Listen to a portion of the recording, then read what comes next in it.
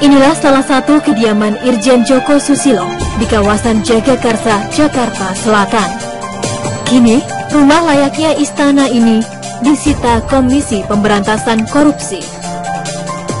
Tak jauh dari rumah ini terdapat lahan kosong yang berstatus sama. Harta Joko Susilo juga tersebar di sejumlah daerah, mulai dari Subang hingga Tabanan, Bali. Harta kekayaan petinggi Polri yang satu ini seolah tak ada habisnya. Dalam sebulan terakhir, KPK telah menyita sekitar 40 aset Joko Susilo. Aset yang disita antara lain 26 tanah dan bangunan, 6 buah bus pariwisata, dan 3 pom bensin.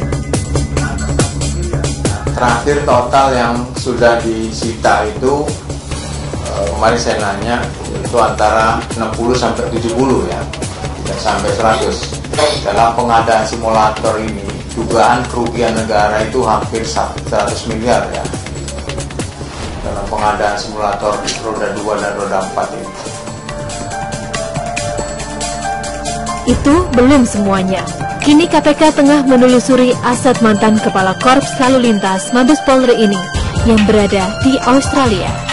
Joko Susilo diduga menimbun hasil pencucian uang proyek simulator surat izin mengemudi. Harta tersebut tersebar atas nama kerabat dan orang terdekatnya. Di antaranya Mahdiana dan mantan Putri Solo 2008 Dipta Anindita. Keduanya berstatus istri tinggi Polri ini. KPK menjerat Joko Susilo dengan pasal berlapis tentang tindak pidana pencucian uang.